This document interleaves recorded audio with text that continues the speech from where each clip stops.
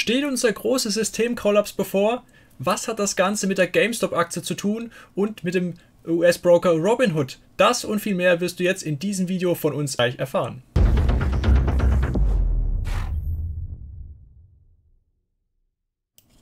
Hallo und herzlich willkommen auf Finance Coach. Mein Name ist Pascal, an meiner Seite ist Mirko und heute zum Wochenstart haben wir natürlich wieder ein richtig tolles Thema, Mirko.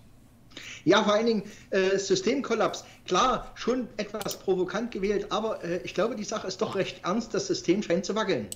Ja, natürlich wegen der GameStop-Aktie beziehungsweise dessen, was dahinter steckt. Da steckt natürlich noch viel, viel mehr drinnen, aber die Aktie haben wir ja schon in vier weiteren Videos besprochen, die wir euch gerne hier verlinken. Ähm, wenn ihr also noch nicht wisst, was es damit auf sich hat, schaut euch gerne die Videos zuerst an. Aber auf jeden Fall müssen wir darüber sprechen, was dieser ja, Short Squeeze, Gamma Squeeze, was auch immer alles passiert ist mit GameStop hier, was das für Auswirkungen im Hintergrund hat auf Broker, auf Banken, auf die ganze Infrastruktur im Hintergrund und was das eben für Auswirkungen Auswirkungen auf unser gesamtes Finanzsystem hat und dass das tatsächlich zum Kollaps führen könnte und dass wir da schon kurz davor waren, Mirko, letzte Woche Donnerstag eigentlich. Ja, vor allen Dingen, äh, hier wurden enorme Verluste verzeichnet und äh, ja, schön, dass du es einblendest. Also wirklich äh, exorbitante äh, Verluste, die die natürlich auch gefüllt werden müssen. Also die muss ja auch irgendjemand bezahlen. Ja, das ist ja alles ein Nullsummenspiel, wie wir wissen. Hier wird ja kein Geld vernichtet oder erschaffen. Hier sind also 70 Milliarden von einer Tasche in irgendeine andere Tasche gewandert und die Leerverkäufer, die diese 70 Milliarden verloren haben, die liegen jetzt einfach woanders. Die Frage ist einfach, wo? Und darauf werden wir gleich noch zu sprechen kommen, wer diese 70 Milliarden denn tatsächlich realisiert hat. Aber bevor wir dahin kommen, müssen wir erstmal schauen, was letzte Woche dann passiert ist an diesem Donnerstag, als diese Kurskapriolen schon auf dem Höhepunkt waren, als die GameStop-Aktie an die 500-Dollar-Marke gekommen ist und dann rapide abgestürzt ist wegen der Nachricht, dass der äh, Anleger bzw. die Trading-Plattform Robinhood für ihre Anleger Restriktionen auferlegt hat. Das hat zuvor ja auch Interactive Brokers getan und Robinhood hat hier mitgezogen und hat gesagt, man kann ab jetzt keine Aktien von GameStop mehr kaufen und auch viele andere Aktien, die eben stark leer verkauft waren, konnte man entsprechend nicht mehr erwerben und sozusagen diesen Short Squeeze dann hier nicht mehr weiter treiben. Und da sehen wir das Ganze mal in dem Artikel aufgelistet, welche Firmen man dann am nächsten Tag plötzlich wieder handeln konnte, aber eben nur noch ein Stück besitzen konnte. Äh, also quasi witzlos, weil man also faktisch eben hier diese Unternehmen weiterhin nicht handeln kann, beziehungsweise eben nicht besitzen kann. Diejenigen, die die schon im Depot hatten, für die ist das kein Problem, die müssen jetzt die Bestände nicht veräußern, aber es konnten keine weiteren Stücke eben hinzugekauft werden. Woran lag das, Mirko? Was ist der eigentliche Hintergrund dieser Regelung?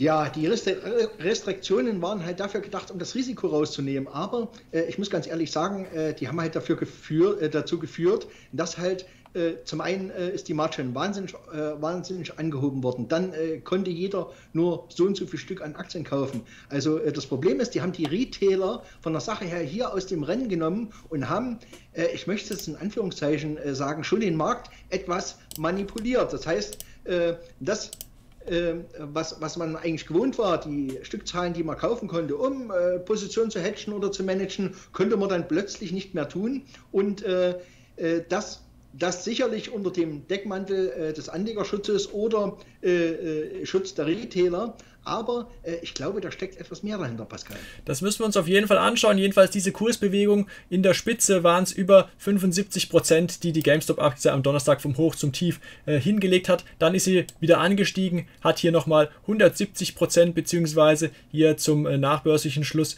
sogar über 190 Prozent wieder zugelegt. Also eine extreme Volatilität, extreme Schwankung, die diese Aktie hingelegt hat. Und das hat auch dazu geführt, dass natürlich viele äh, Händler, die eben hier diese Aktie besessen haben, hier enorme Schwankungen im Depot hatten. Das sehen wir zum Beispiel hier bei dem YOLO-Update, wie es genannt wird, von den Wall Street Bets Leuten, von eben hier diesem einen Händler, der ja schon sehr lange seine Position schon seit über anderthalb Jahren postet, der ja auch mal mit 59.000 Dollar begonnen hat, dann mal 30.000 Dollar hinten lag, belächelt wurde, weil er immer noch dran festhält und glaubte, dass dieser Trade noch sinnvoll ist. Und jeder sagte ihm, schließ die Position, realisiere deine Verluste, akzeptiere das, bevor du alles verlierst. Naja, und inzwischen hatte er dann schon über 40 Millionen Dollar auf dem Konto, wenn man sich die Position vom Donnerstag anschaut, sieht man, er hat hier 14 Millionen Dollar an einem Tag eingebüßt. Als Buchverlust natürlich, er hat sie nicht realisiert, er hat weiterhin nichts verkauft und am Freitag stand er dann schon wieder auf einem höheren Level bei 46 Millionen Dollar insgesamt. Also das ist natürlich gigantisch. Und natürlich alle, die hier diesen äh, Wall Street Bets Thread verfolgen, die werden entsprechend hier weiterhin eben ihre Position halten, solange dieser Groß- äh, bzw. der frühe Investor entsprechend hier seine Position auch nicht signifikant abbaut. Zumindest sieht es so aktuell danach aus. Und trotzdem gibt es auch immer wieder Beiträge auf Wall Street Bets, die ganz interessant sind, weil sie auch ein bisschen in die Tiefe graben. Und einen davon müssen wir uns hier mal anschauen. Und da geht es eben darum, warum tatsächlich der Handel ausgesetzt war. Und da müssen wir diesen Rückgriff auf Robinhood, auf diese Handelsplattform eben wieder machen. Denn das Pendant zu Robinhood, das gibt es ja auch in Deutschland. Ein bisschen anders es aus, aber Trade Republic ist ungefähr vergleichbar damit. Wir zahlen hier zwar 1 Euro Transaktionsgebühren, dort ist es wirklich kostenfrei, der Aktienhandel. Äh, und dort muss man auch sagen, kann man auf Margin handeln. Also man kann wirklich mit Kredit handeln. Bei uns geht das nicht, aber es ist vergleichbar daher, dass man eben nur mit dem Smartphone handelt bei Trade Republic. Und das hat eben auch hier zur Überlastung geführt, weil so viele Kleinanleger plötzlich die GameStop und andere Aktien kaufen wollten, weil sie von diesem Hype profitieren wollten, was zum Ausfall der ganzen App geführt hat. Und dann hat man sich eben auch entschieden, diese Restriktionen zu erlassen und die Käufe dieser hoch leer verkauften Aktien entsprechend zu unterbinden. Und das hat natürlich zu einem extremen Shitstorm von äh, äh, Trade Republic geführt. Und das hat man jetzt auch wieder rückgängig gemacht, beziehungsweise eben die Aktien wieder zum Handel zugelassen. Die Frage ist, warum haben die das überhaupt erlassen? Was ist denn der eigentliche Hintergrund, Mirko? Das Problem ist ganz einfach, äh, gerade Robin Hood äh, unterhält ja seine eigene Clearingstelle. Und äh, damit halt das Geschäft ordentlich abgewickelt werden kann, gibt es halt äh, gewisse Margen, gewisse Clearings, äh, die halt dafür sorgen, dass jeder sein Geld bekommt.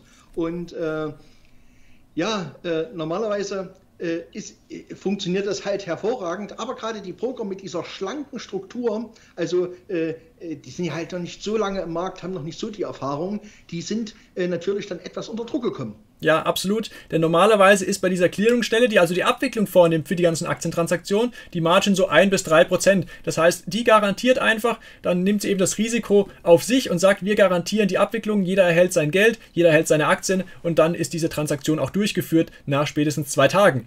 Jetzt ist ja das Problem, dass hier so viele Leerverkäufer unter Druck kommen und wenn die nachher nicht mehr zahlen können, hat die Clearingstelle ein Problem, wenn sie nur so wenig Sicherheiten verlangt in Höhe von 1 bis 3 Prozent. Also was hat die plötzlich gemacht? Die hat für die GameStop-Aktien die äh, die Margin Sicherheitsleistung auf 100% erhöht. Das heißt, man musste also diese Aktie sofort, sofort voll einbezahlen und hat dieses Geld auch frühestens nach zwei Tagen wiederbekommen, wenn diese Transaktion dann abgewickelt war. Und das bringt solche Neo-Broker wie äh, entsprechend hier Robinhood extrem unter Druck, weil die diese Margins gar nicht haben, nicht leisten können. Und genau deshalb mussten sie eigentlich den Handel einstellen und wegen nichts anderem und nicht wegen der Gerüchte. Citadel steht im Hintergrund und die finanzieren ja auch die Leerverkäuferfonds. Ähm, das mag vielleicht mit ein Grund gewesen sein, aber das ist definitiv einer der Gründe, würde ich mal sagen, warum hier Robinhood wirklich in Bedrängnis kommen kann. Insbesondere, wenn man hier halt eben das Ganze weiter spinnt und weiter spekuliert wird und entsprechend hier diese Margins nicht geleistet werden können es sogar zu Ausfällen kommt, das heißt, entsprechend Aktien nicht mehr geliefert werden können oder Gelder nicht mehr bezahlt werden, weil die Clearingstelle ausfällt, äh, beziehungsweise Robinhood selbst ausfällt, die ja ihr eigenes Clearing machen. Und das würde dazu führen, dass tatsächlich dann auch Aktionäre, die eigentlich GME-Aktien in ihrem Depot erwarten, doch gar keine Aktien verbucht bekommen haben und sozusagen leer ausgehen. Sie haben das Geld bezahlt, das ist ja weggebucht, aber sie haben keine Aktien eingebucht bekommen. Und das ist natürlich ein extremes Risiko. Und wenn das sich rumspricht und wirklich groß wird, und die sind ja eh schon sauer auf Robinhood, dann kann es sein, dass es einen Massenexodus gibt äh, von diesem Broker, die natürlich noch weniger Gelder zur Verfügung haben, um ihre Margins zu leisten. Die haben jetzt schon einen Nachschuss bekommen von ihren Finanzierern, damit sie überhaupt in der Lage sind, diese Margin-Leistungen wieder zu erbringen. Aber ich sehe nicht kommen, dass wir so schnell zu einem regulären Handel hier zurückkommen von diesen volatilen Aktien, die gerne von Kleinanlegern hier gehandelt werden.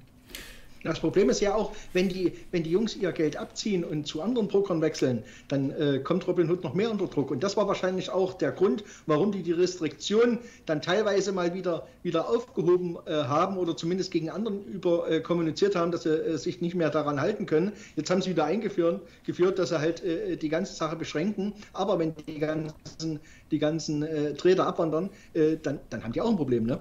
Absolut.